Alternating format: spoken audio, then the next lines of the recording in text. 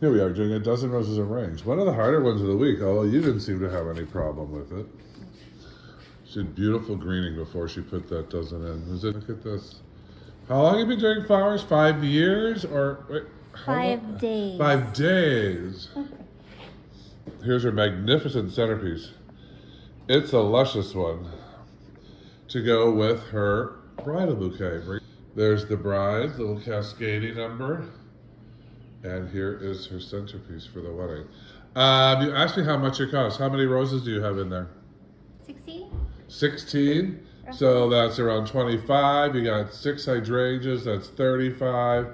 You got about $15 of other things, so 45, 55. You got a container in green, 75. 75 times 3 is 225 plus your labor. Easily a $250, $300 centerpiece. She's been here for five days at Flower School 101.